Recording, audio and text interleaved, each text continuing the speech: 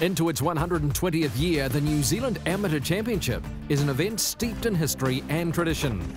It was wet and windy conditions that greeted the competitors for the final of this year's premier match play tournament. In the men's competition, it was two teenagers who negotiated their way through the draw to meet in the 36 hole final, with 17 year old Northlander Caden Niho meeting 18 year old Tasman golfer Ryan Chisnall. Chisnall held the advantage in the early stages as he established a two-up lead early in the round. However, Niho came roaring to life on the back nine as he went on a scoring blitz to take control of the match. This superb approach on the 12th set up a tap-in birdie, which sparked his run.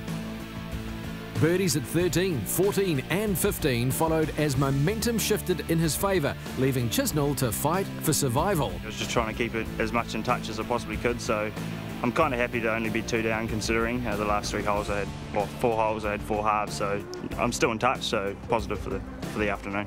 Unfortunately for Chisnall, his opponent was also positive, opening his second round with another birdie.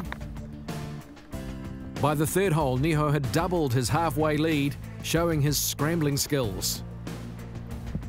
However, Chisnall wasn't ready to give up yet and produced some late magic to keep his hopes of a maiden New Zealand amateur title alive.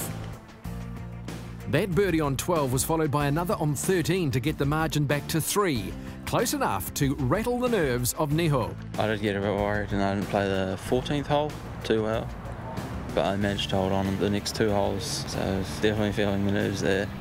Niho's bogey on 14 allowed Chisnall back within two, but an untimely three putt handed the hole back to the Northlander, putting him three up with three holes to play. With both players safely on the green on the par 3 16th, Chisnall was left needing to hole a monster putt to keep the match alive.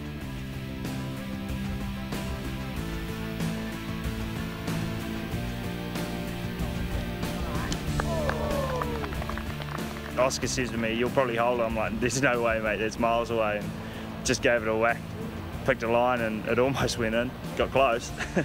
the miss left Niho a regulation two putt for the 4 and 2 win, which he easily took care of to become Northland's first golfer to lift the prestigious trophy. The humble youngster admitting the win had come as a big shock. It wasn't a thought on my mind winning. I tried to just do well and it just went on. And yeah, winning just seemed to be there. Gave myself the chance. In the women's event, New Zealand squad member Julianne Alvarez and Waikato's Hannah Seifert earned the right to battle it out for the top prize. After the early tussle, Alvarez began to pull away with three back nine birdies. Her birdie on 17 gave her a healthy five-up advantage, which she carried into the afternoon round. Seifert looked to mount a comeback in the second round with birdies on 5, 7 and 8, but these were followed by bogeys on 9 and 10. Seifert's troubles continued when she missed the green on the 11th with Alvarez par enough to give her a 7-up advantage with 7 holes remaining.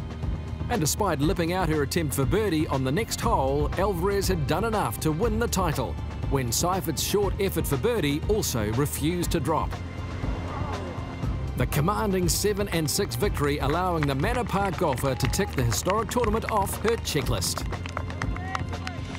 I've been working at this for a very long time and it's really cool to finally win a New Zealand amateur and to be one of the names on this trophy now is really cool because there's I was just looking at it before there's so many really good names on this trophy